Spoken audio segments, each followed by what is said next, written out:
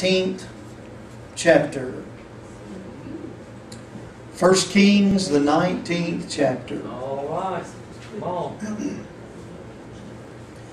We're going to lay the groundwork this morning for a new series that we'll be preaching for the next couple of Sundays or three, maybe. Hallelujah. Mm-hmm.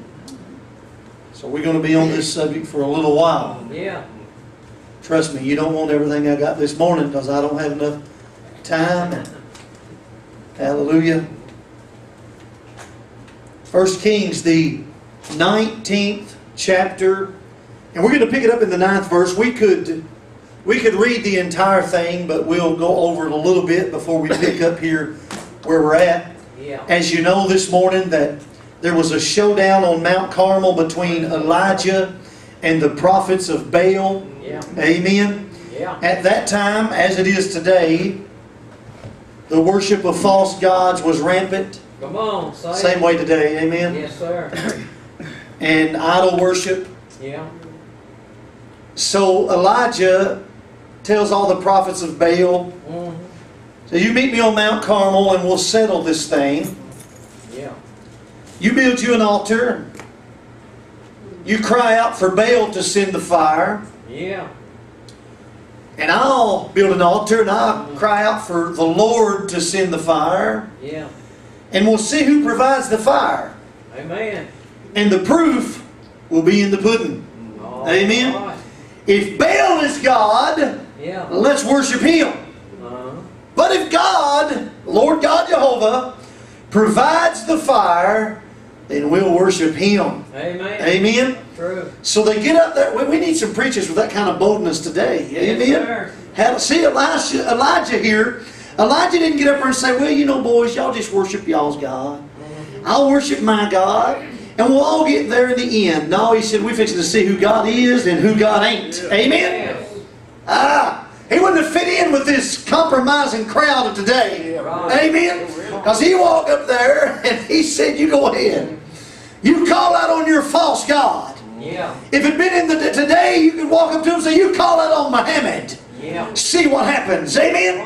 You call out on Allah and see what happens. Amen. Come on. And I'll call out on the name, the only name. Hallelujah. Amen. The only name known among men, the only, seed the Father has taken the name of His Son and has exalted it above every name. Amen? Right. On earth, under the earth, in earth, in heaven, every name, the Son's name has been exalted. Amen. So Elijah says, You call out on Baal. So they do that.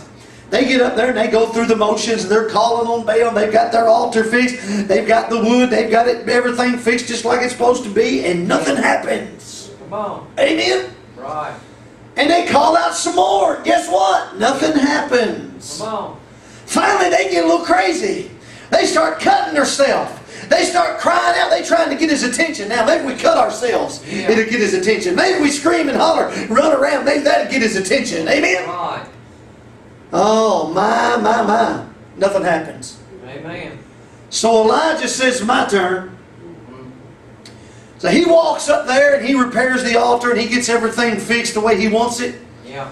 But he doesn't stop there. And we talked about this a couple of weeks ago. He calls the guy and says, Bring me some water and pour it over the sacrifice. Yeah. How many times did he do that? About seven, something like that. I'm not sure how many times he did it. We- How many? 12 barrels. 12 barrels. And not only did he pour it over the altar and the sacrifice, but he had dug a trench around it and he had filled it with water too.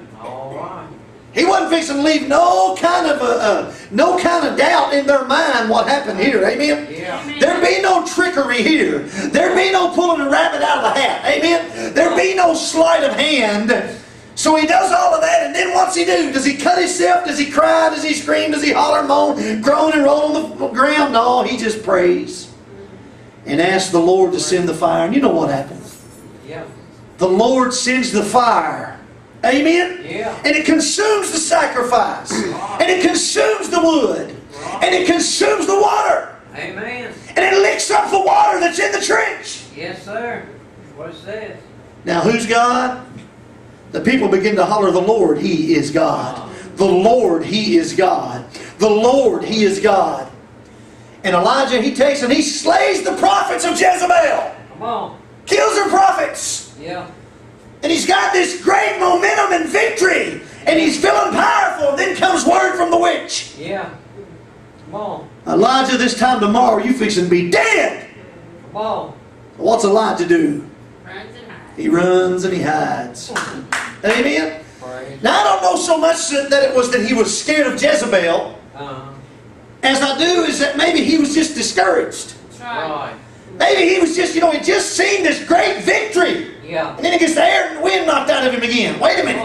I thought I had the victory here. I thought that battle was won. I thought it was over. No, not until Jezebel was dead, and that comes sometime later. Amen? Yeah.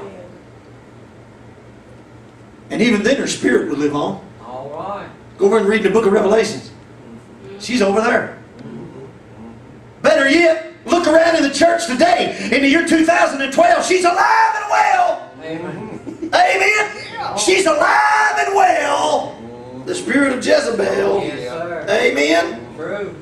So anyway, we find Elijah here. He's went and hid. For whatever reason. Whether he was scared of what's going to happen the next day, or whether he was discouraged or down and out, and we can read in some of his read in some of his words here, we can tell he was down and out. He's feeling sorry, amen, about the situation. Yes. And it says he came thither, I'm in verse 9, 1 Kings the 19th chapter, and he came thither into a cave, unto a cave, and lodged there. And behold, behold the word of the Lord came to him and said unto him, What doest thou here, Elijah? What are you hiding for? Mm. What are you doing here? Yeah. Why are you hiding in this cave? Amen. Now remember, he just came off this huge victory. Amen. Right. He just came from this this this wonderful. How many times you ever been in a wonderful service? Spirit of the Lord poured out everywhere. Revival on everybody. People getting prophesied to. Things happening, and all as soon as it's over, pfft, something happens. Amen. True. something happens. It seems like it takes the wind out of your sails. Yeah. Well, that's where he finds himself here. Amen. Amen. True. Listen what it says. And he said, I'm in verse 20. I mean, I'm, I'm in verse 10. I'm sorry. Yeah. 1 Kings 19 10. And he said, I have been very jealous. Now he's getting ready to sound, sound like some of us. I've lived for the Lord. I don't understand why this stuff happens to me. I try to do my best. Look at them people in pop smokers next door. They got everything. Brand new car, brand new swimming pool. I'm barely paying my light bill, and I serve the Lord. That's exactly what he's fixing to talk about right here. That remind you anybody? Amen. I wish we had a tape recorder where we go go back and play some of our gloom, despair, and agony on me moments. Amen. Yeah. And he said, "I've been very jealous for the God, for the Lord God of hosts, for the children of Israel have forsaken thy covenant. Yeah. They've thrown down thine altars and slain thy prophets with the sword. And I, even I only, am left, Yeah. and they seek my life to take it away." I stood up for you on Mount Carmel and in front of all of Israel. And look what happened to me. They're after me. They're trying to kill me. I'm discouraged. I'm down and out. I feel like I've been forsaken. Amen. And I'm the one who's been standing for you, Lord. I'm the one who's been living right. And everything seems to break. Yeah. Yeah. Everything seems everything seems to fall apart. And I'm the one trying here. Amen. Well, that's where he was at. So see that feeling you get, that's no new thing. Right. People been going through this a long time. Amen. Listen what the Lord says to him. Verse 11. And he said, Go forth and stand upon the mount before the Lord. And behold, the Lord passed by, and a great and strong wind rent the mountains, Yeah. and brake in pieces the rocks before the Lord. Yeah. But the Lord was not in the wind. And the message that he had for Elijah could not be found in that. And after the wind, an earthquake. But the Lord was not in the earthquake. And after the earthquake, a fire. But the Lord was not in the fire. And after the fire, a still, small voice. You see, that right there is what we usually miss. Yeah. Amen. Amen. Oh, we get it. We go in the church house and everybody's rolling around, hooping, hollering, and shouting. Mm-hmm. We can get that. We can hear that. We can understand that. Right. Amen. The earthquake, the shaking, the fire. Oh, send the fire, oh God. Send the fire. Get, fill it. and Burn me up with the Holy Ghost. Send, shake me like a dish rag. Come on. But it's that still small voice that we miss many times, especially in Pentecost. That's right. Because, you know, if God tries to use a still small voice, we leave out there thinking, well, that was plumb dead. Yeah. Yeah. God don't always shout. That's right. Amen? Come on. God don't always holler. Amen. Sometimes He whispers, That's right. and that's when we miss it. Right. How many times has the Lord whispered something to you? And after you got through arguing whether it was you or whether it was the Spirit or whether it was your flesh, you didn't do it. And then you realize later you missed it. Amen. Because He whispered. Yes. He didn't do He didn't give you no big sign, no big wonder. He just whispered. Right. And you missed it. Amen. I can I can I can talk about that today, but please because old brother Billy's done that.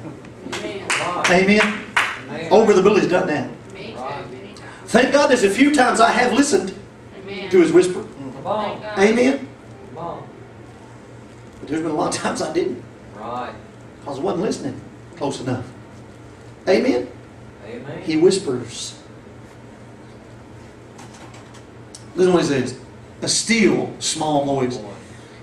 Verse 13 says, And it was so when Elijah heard it, that he wrapped his face in his mantle, and went out and he stood in the entering of, in the entering in of the cave. Yeah. And behold, there came a voice unto him and said, Now what's it? What's he asking him again? Same thing. What doest thou here, Elijah? Yeah. Second time he's asking this. Right. He didn't get the right answer the first time, so he's going to give him a chance to answer again. All right. Amen. Amen. Wrong answer. Yeah. And he said, listen what his answer is. Same as it was before. I've been very jealous for the Lord God of hosts. Yeah. Because the children of Israel have forsaken thy covenant, they've thrown down thine altars and slain thy prophets with the sword. Mm. And I, even I only, am left, and they seek my life to take it away. So apparently he thought Lord didn't hear him first time.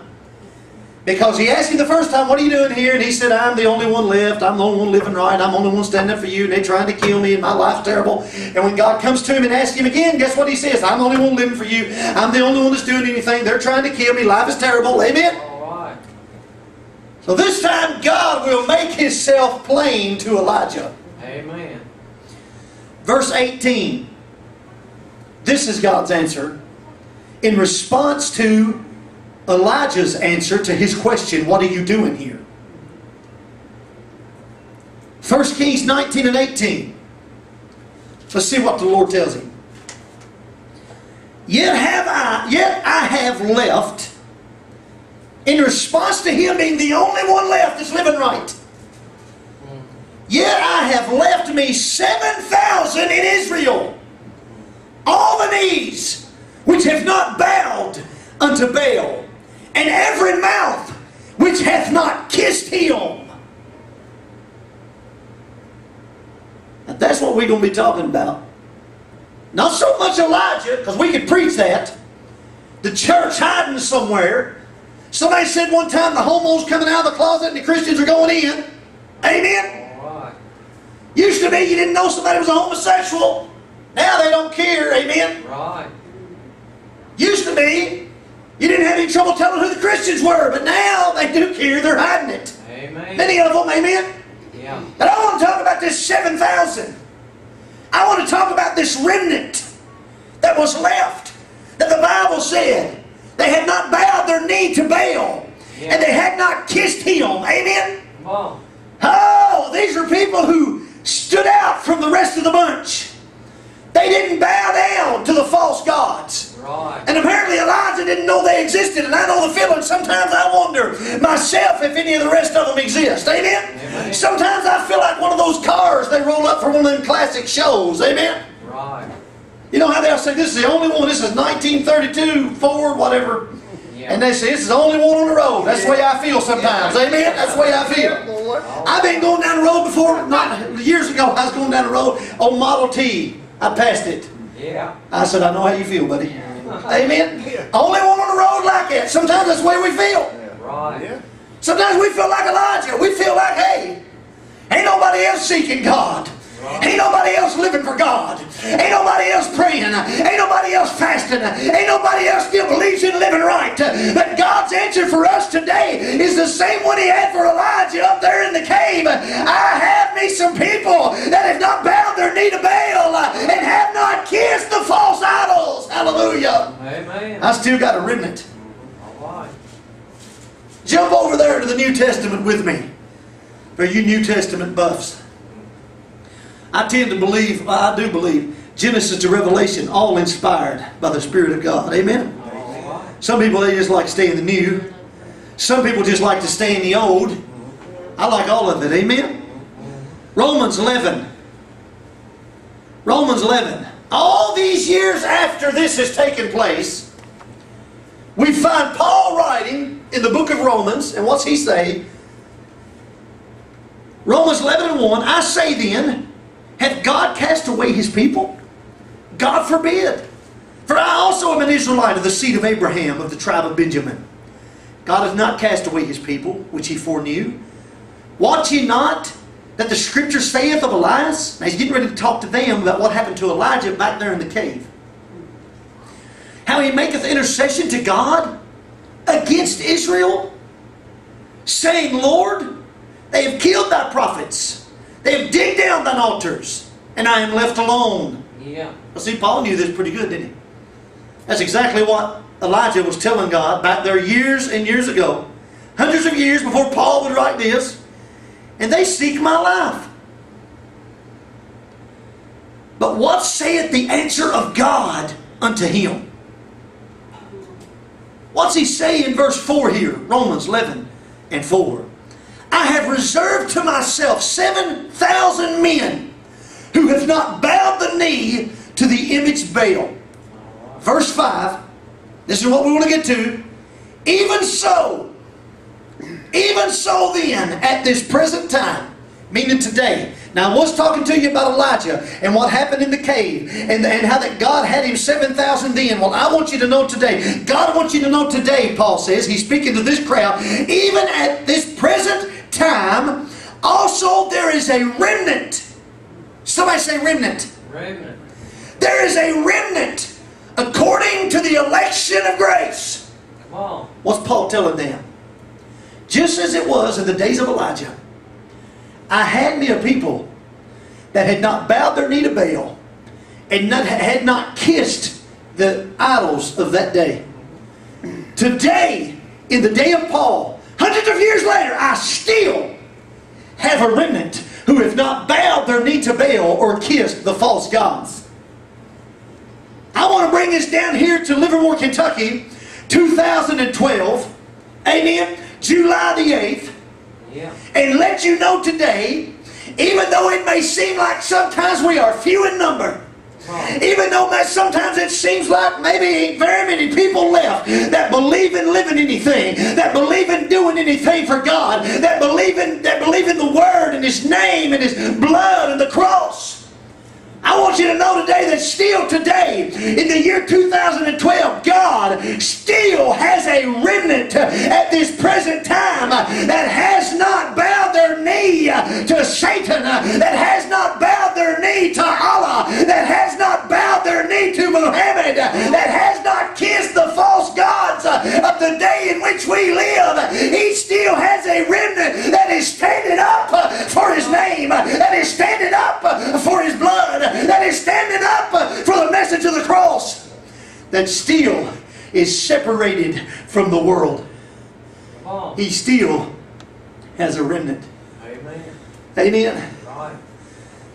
You know what a remnant is? We talked about this before. A remnant is a small piece of something. It's left over from the original. Amen. Right. Made up of the same thing that the original was made up of. Except it's just what's left of it. Amen. You get that? That's what the remnant is. They're made out of the same cloth, if I could use that parody this morning, that the original was made of. They still believe in walking the old paths. Yeah. They still believe in power in the name of Jesus. Amen. They still believe in, whew, hallelujah, they still believe in being washed in the blood of the Lamb. Yeah. They still refuse to kiss the false gods of this day. You'll have to excuse me if this offends anybody in any way. They still refuse to kiss the ring of the Pope. Amen. We've had some big time preachers, Billy Graham for one of them, Uh, that bowed and kissed the ring of the Pope. Maybe that was just a mishap in his judgment. But that's the kind of stuff that God was telling Elijah here that they had not bowed and kissed the false gods of that day. Amen. What do you think you're doing, preacher? Whenever you allow the people that come to your church that are Muslims to continue to believe the way that they believe. Never one time telling them that that way will lead them to hell. You have bowed and kissed the false God of Islam. Amen. What do you think you do whenever you sign an agreement that you're going to work side by side, that you're not going to share the gospel with them, that you're not going to share the only way to get to heaven? What do you think you've done? You've bowed your knee to the false God, the biggest false God of this day, probably Islam, the Muslim religion. Amen. Right. Maybe not the biggest, but one of the worst. Amen. So we're going to be talking about the remnant Right. for a while. Amen. Amen. There is a remnant today that their knees which have not bowed unto Baal, and every mouth which hath not kissed him. And I know sometimes it feels like you're all alone, but God still has a remnant. He still has something left of the original. Amen. Right. He still has some people today that still believe in Him. He still has some people today that are going to live for Him. He still has some people today that are marked. Right. Amen. I went looking for the words of this old song last night. And one of the, the first person I asked was Sister Judy Frizzell. And I'll tell you why, is because I remember her white haired mama. Right. Yes. In the first church that I ever preached a message in, Amen. right here in Livermore, Kentucky, down there on 7th Street, there on the corner, across from the where the bakery used to be. The first church I ever preached in, I remember her mama getting up behind the pulpit, and she kind of walked with. Time I met up with her and had much to do with her. She was old. She was in, into her years, and and she didn't walk so straight anymore, and she didn't walk so swift anymore. Amen. And she had wrinkles on her face, and she had a head full of white hair. And but I remember her getting up behind the pulpit, and she sung something that went a little bit like this: "I lost my reputation when I turned my back on sin, and a lot of friends went from me since I let my Savior in. Now they pass me by unknown when they once passed with a smile. Now they say I'm very foolish, and they say I'm out of style. And here's the chorus for you: I am marked." Marked, marked. I am marked wherever I may go. I am marked, marked, marked. Just what I am, everyone seems to know. I am sealed, sealed, sealed. I am sealed by His Spirit divine. Glory to God, hallelujah, amen. I am His and I know, and He is mine. Hallelujah. Praise. I'm marked today. Yes. His remnant will be marked. You see, when you go over there and you read in the book of Revelations, book of Revelation, excuse me, some Bible scholars are going to correct me that there's no S on the end of it. In the book of Revelation, and you read there how the Antichrist will cause people to take a mark Right. that we refer to as the mark of the beast. Right. That's no original thing. He didn't come up with that on his own. Right. He's an imitator. Amen? He's a counterfeiter. God has had a mark for a long time. Yes, sir. Amen? True. And we'll talk about some of that when we go into looking at the scriptures and the revelation of the remnant. Amen? And I'm not talking about a denomination. I'm not talking about a certain sect of people. Yeah. Well, not in the sense as we think of it. But I'm talking about a group of people, my, my, my, that's going oh, to uh-huh, come up out of every nation. Oh, that's going to come up out of every nation. Yeah. Amen. You see some of these people that's been listening to us over in the Ukraine. Some of the people have been listening to us over in Australia. Some of the people have been listening to us over there in Norway. Some of the people have been listening to us over in the Vietnam. Some of the people have been listening to us over, all around the world. Amen. I can name you country after country. 73 in the last 30 days that have tuned in and listened to the to the radio station. 73 countries. There's going to be a remnant. There's going to be a part of that remnant come up out of all of those nations. Amen. See, America don't have no hold on this. Matter of fact, America's losing her grip. Yeah. America's losing. They may, they may be more of the remnant that comes up out of those other nations than there actually is the United States of America because we're losing. Oh, hell, we're losing it. Amen. But we're going to find out as we begin to study this, and as we begin to look into the Scripture, and we begin to look at the Old, and we begin to look at the New, and we begin to look at the at the end times, and we begin to see how God's going to have Himself a people, and we're going to see, my my my, that this people is set apart. They are different. Yeah. They are a remnant. Oh my goodness. No wonder I get so many emails from people saying, you know, I love to hear you preaching. I love the message you're preaching because it's like it used to be. Yeah, that's because we're left over from the original. Amen? There ain't a lot of us left, but we are a small piece of, oh, hallelujah. We're a small piece of the original cloth. Yeah. Oh, you ever heard somebody say, you know, they're both cut from the same cloth? Amen? Oh, we're cut from a cloth today. Hallelujah. There ain't a whole lot of us left. The remnant ain't a very big piece, but it is still made up of the same thing the original was made up out of. Hallelujah. Preach. My Lord. Hallelujah. Hallelujah. My goodness. Praise the Lord. Oh, the remnant. Somebody said the remnant. The. Remnant. The remnant. See, the remnant's going to be fruitful. Going to be a fruitful people. 2 Kings 19 and 30 says the remnant that escaped of the house of Judah shall yet again take root downward and bear fruit upward. The remnant's going to be a fruitful people. The remnant ain't going to be satisfied with just getting by. Amen. The remnant ain't going to be satisfied like that fig tree with just having leaves flapping in the wind. They ain't going to be satisfied without some fruit. Yeah. They ain't going to be satisfied without some fruit. Amen. Right. That's where most of the church is at today. Yeah. Professing but not possessing. They stand over their leaves flapping in the wind. I got something, I got something, but when you really inspect it, they don't got nothing. Right. Amen. Remnant's going to have some fruit. Amen. They're going to take roots downward. They're not going to be able to be blown about by every wind of doctrine. Right. They're going to take roots downward. They're going to be rooted. Rooted in what? The Baptist doctrine? Mm-mm. No. The Church of God doctrine? Huh. No. The Apostolic doctrine? Uh-uh. The United Pentecost doctrine? Mm-mm. The Catholicism's doctrine? Uh-uh. Rooted and grounded in the Word of God. Yeah. In the Word of God. Yeah. Amen. Amen. The remnant. The remnant of the Lord. They're going to bear fruit upward. They're going to take root downward and bear fruit upward. I want to leave you with this thought right here this morning. Say, Brother Willie, you ain't got very far, I know, but we're going to take it, going to try to take it a little slow. Isaiah, the first chapter, the ninth verse. Isaiah, the first chapter, the ninth verse. The Bible says, except the Lord of hosts had left unto us a very small remnant, we would have been as Sodom, and we should have been like unto Gomorrah. In other words, except for the very small remnant that was left, destruction would have fell upon them as the same it did Sodom, as the same it did Gomorrah.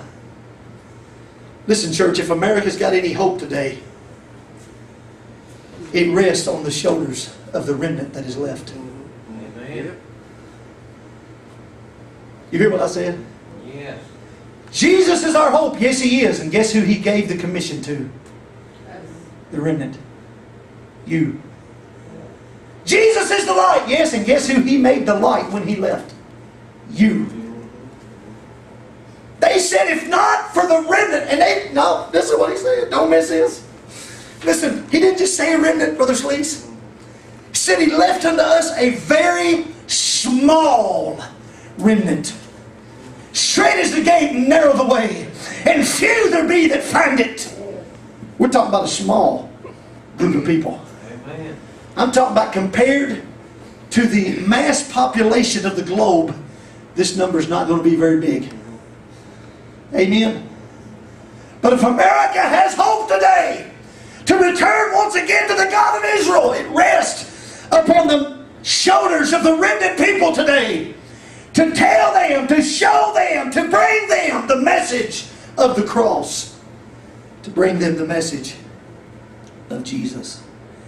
A very small remnant.